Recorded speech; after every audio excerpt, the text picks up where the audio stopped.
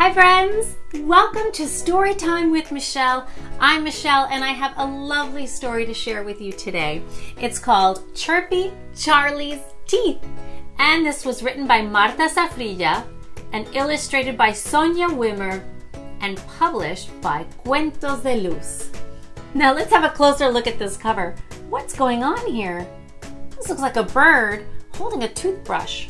I wonder if I wonder if he's Charlie. Maybe he's Chirpy Charlie. Hmm. Do birds have teeth? I never really thought about that before. I don't think so, but he's got a toothbrush. Well, there's lots of questions to answer, so let's read the book and get to the bottom of it. Will you read with me? Let's go. Chirpy Charlie's Teeth, written by Marta Zafrilla, illustrated by Sonja Wimmer, and published by Cuento de Luz. Julie, brush your teeth or you'll need a filling, yelled Julie's mom. Well, I'm a little bird who looks after his health, and all this business about getting a filling must be horrible because she talks about it every day. There's no way I'm going to have one of those things in my teeth.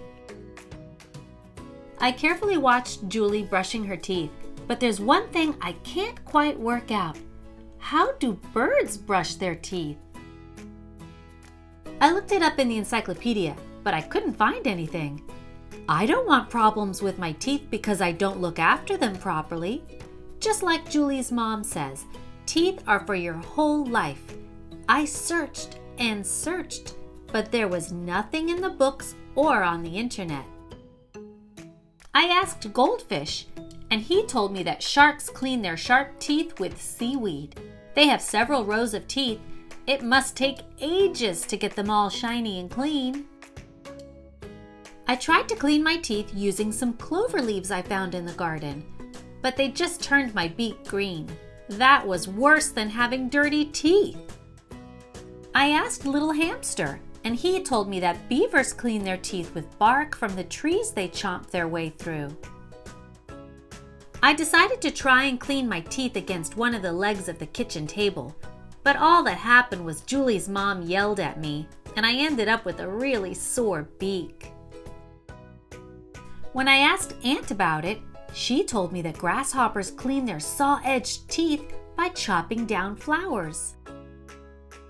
So I thought I'd try it out with some lovely orchids that were in the front room.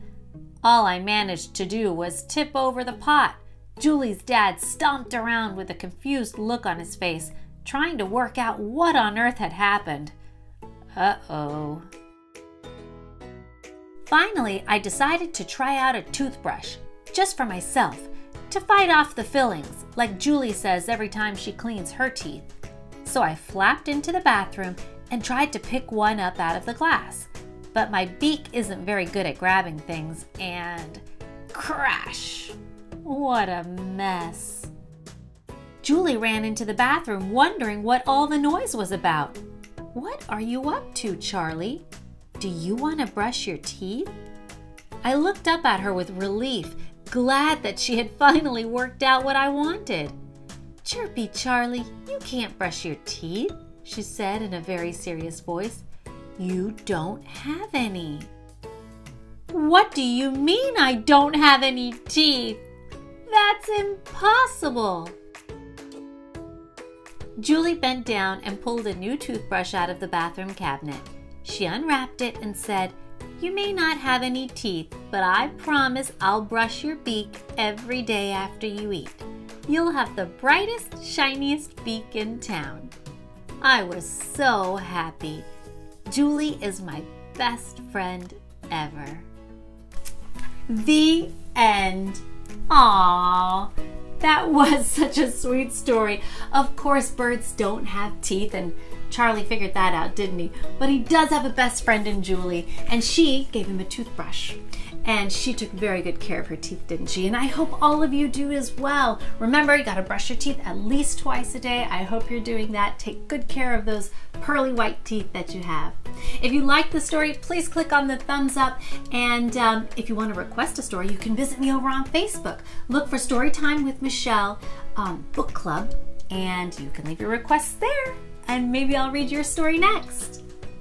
Until next time, Happy reading!